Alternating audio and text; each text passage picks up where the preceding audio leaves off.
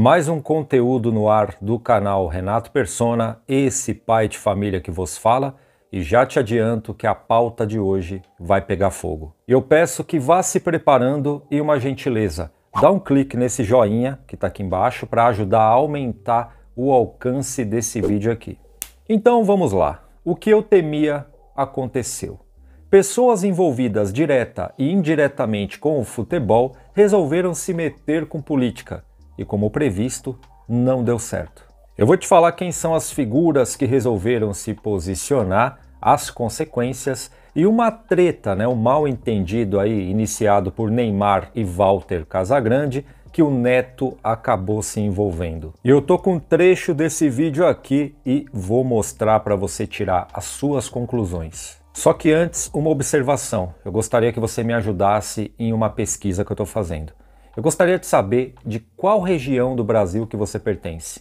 Norte, Nordeste, Centro-Oeste, Sudeste ou Sul? Comenta aqui embaixo, por gentileza. E para salientar, sendo você brasileiro ou pertencente a outro país desse planeta, saiba que aqui você é sempre muito bem-vindo. E por isso que eu peço para você se inscrever aqui no canal. E vou tomar liberdade de fazer um breve desabafo referente aos ataques que o pessoal do Nordeste vem recebendo aí depois do resultado do primeiro turno das eleições. Eu duvido que você não esteja sabendo, mas eu vou dar uma resumida rápida, certo?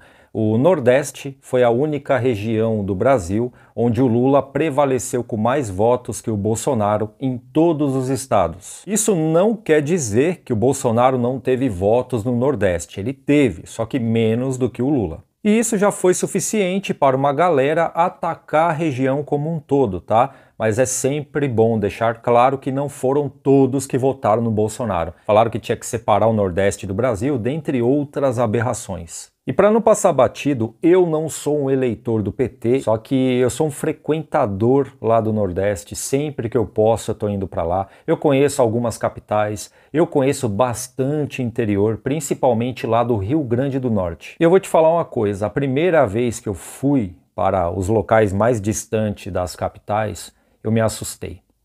Eu confesso que eu nunca passei dificuldade na vida, nunca fui rico, né? Meus pais nunca foram ricos, mas nunca passamos dificuldade, graças a Deus. Mas quando eu fui lá para os interiores, eu me assustei.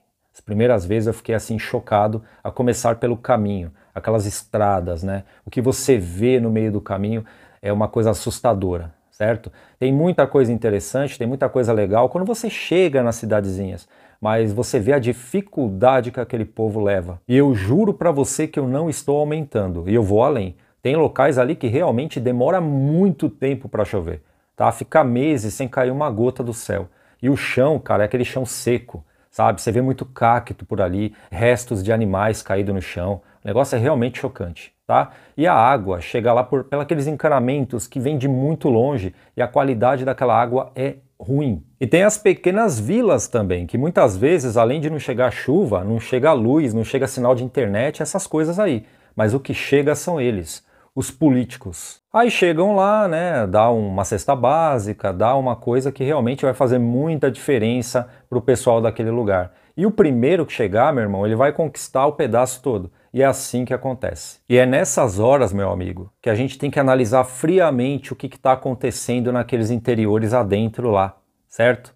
Porque, como eu falei, tem locais ali que não chega a internet. Eles não conseguem comparar um político com outro. Então, o primeiro que chega geralmente é aquele que conquistou o pedaço. Eu queria deixar um abraço aí pro pessoal do Nordeste, independente em quem votou, tá bom? Se é um eleitor do Lula, do Bolsonaro, enfim. Eu acho que ainda vivemos em um país democrático, né? Eu acho que é muito fácil julgar quando a gente vive em um apartamento com uma varanda gourmet, temos lá o nosso PlayStation para jogar, né? Numa grande TV 4K, é muito fácil julgar. O difícil é estar tá na situação das pessoas. Como eu sempre falo, coração dos outros é terra que ninguém pisa. E se você já escolheu seu candidato e foi atacado por causa disso, saiba que você não está sozinho. Eu vou dizer os dois lados e figuras muito conhecidas do futebol que resolveram se envolver com política. Do lado do Bolsonaro, temos aí Alexandre Pato, Lucas Moura, Daniel Alves e também Neymar, ele mesmo, o craque Neymar. E do lado do Lula tem o Raí, Vanderlei Luxemburgo, o professor, e Walter Casagrande. Todas essas figuras citadas já sofreram ataques pela internet. Quando eu falo ataques, você já sabe o que, que é, né? São pessoas que estão lá atrás do celular, do computador, enfim, que xingam, ofendem moralmente aí pessoas que têm uma opinião diferente. E entre algumas dessas figuras citadas aí também houve um chamado desentendimento, né? O Neymar dançou o jingle do Bolsonaro e o Walter Casagrande fez um textão, até gravei um vídeo falando sobre isso. O cara literalmente chacoalhou o Neymar e completou que enquanto o Neymar vestia a camisa da seleção e jogar, ele não assiste mais o Brasil jogando com respeito ao país dele. Olha só a mente do Walter Casagrande. Teve um cara que, assim como eu, não curtiu aí a postura do Walter Casagrande. E o nome dele é Neto, ou Craque Neto, o que você preferir. E outra coisa que eu vou falar aqui, e outra coisa comigo não tem esse negócio não. Eu não sou contra o que o Neymar é, fez a campanha pro Bolsonaro. Por que, que o Raí pode fazer pro PT? Se o Neymar pensa em votar no Bolsonaro, é dele. Nós não estamos numa democracia. Se ele pensa que o Bolsonaro é bom para ele, tá tudo certo, tá tudo bem. Se o Raí pensa, que por sinal o Raí só agora, né? Porque o intelectual, o Raí intelectual quer dizer que ele como intelectual. E eu não voto em Bolsonaro. Deixar bem claro aqui para todo mundo saber aí na televisão. E não falo para quem é meu voto. Deve saber para quem é meu voto. E parar de dar pau no Neymar, hein? Eu acho um absurdo fazer isso. É, e que, por sinal, você, Casagrande, que está dando pau nele, e os petistas que estão dando pau no Neymar, isso é injustiça. Se vocês querem que esse país seja democrático, qual o problema dele votar no Bolsonaro e gravar um vídeo pro Bolsonaro? Eu não faria isso. E não vou fazer. E ele tem o direito disso.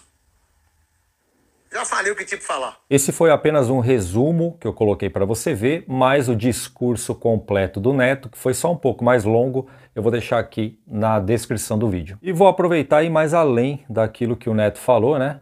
É, democracia para o Walter Casagrande é só com aqueles que compactuam com a ideia dele. Se pensar diferente aí, meu irmão, aí o couro come. E esse canal aqui é democrático, tá? Então, deixa a sua opinião aqui no espaço dos comentários. Se você quiser se posicionar, fique à vontade. E antes que eu me esqueça, eu sou um cara totalmente a par da política. Tá? Eu estou tentando entender como é que funciona esse negócio.